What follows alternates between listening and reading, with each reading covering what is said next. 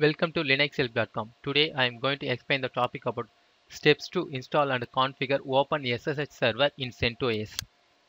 OpenSSH is a open source which is freeware tool that uses the SSH protocol and provides secure encrypted communication over a computer network.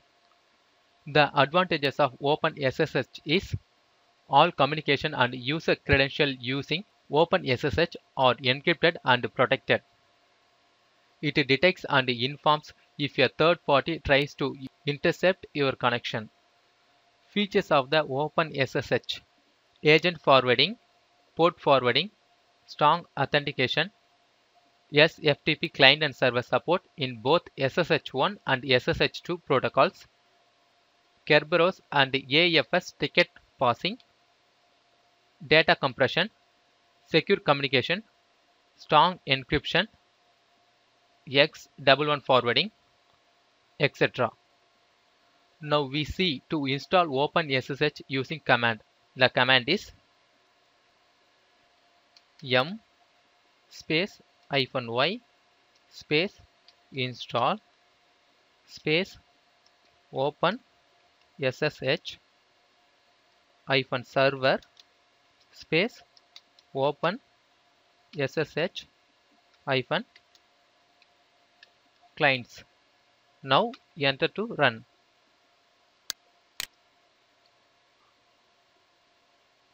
Now the installation of OpenSSH is successfully completed. Next, configure our OpenSSH behavior through the SSH config file. Before editing the SSH config file, we need to backup a copy of it. The command is cp space slash etc slash ssh slash sshd underscore config space slash etc slash ssh slash sshd underscore config dot backup underscore copy. Now enter to run this command. This command is used to take a copy of original file. Now we need to verify if our OpenSSH server is working or not. I can try to connect to the OpenSSH server from your localhost through your OpenSSH client with Nmap, but you to use a small tool called Netcat. It is also known as TCP IP protocol. Now we see the command.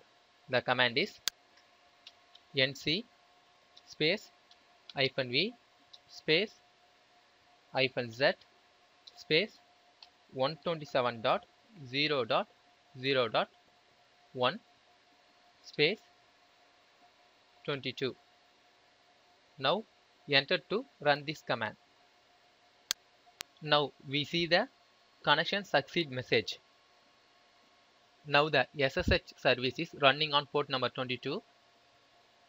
If we want to use another port number instead of 22, we can do that by editing the SSHD configuration file. Now I am going to change the SSH port number using the configuration file. The command is vim space slash etc slash ssh slash sshd underscore config. Now enter to open the configuration file. Here the default port number is 22. Now I need to change this port number. Press I to insert. Remove 22 from here and change the port number. Now I set the port number here is 14. Before exit from the configuration file, we need to save it. Press escape key colon WQ. Now enter. Now we need to restart our SSH. The command is service sshd restart Now enter to restart. Now I need to verify if our OpenSSH service is working with another port number.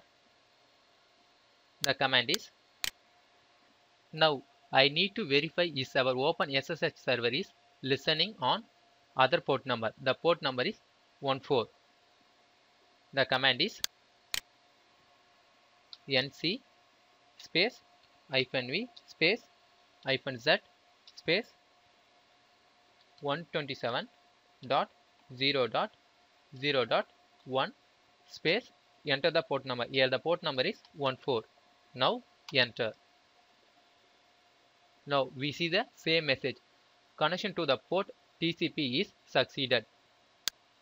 Now you can do it by modifying the content of slash etc slash issue dot net file and adding the following line inside the SSHD configuration file vim space slash etc slash ssh slash sshd underscore config. Now enter to open the file. Now go to the last line of the file. Shift plus G. Shift plus G key is used to go to the last line of the configuration file. Press I to insert. Now add this line banner space slash etc slash issues dot net now save and exit from the file. Now we need to restart the sshd the command is service sshd restart. Now enter to restart. There are many things you can do with the OpenSSH tool to configure your OpenSSH server. These are the few steps to configure your OpenSSH server in CentOS.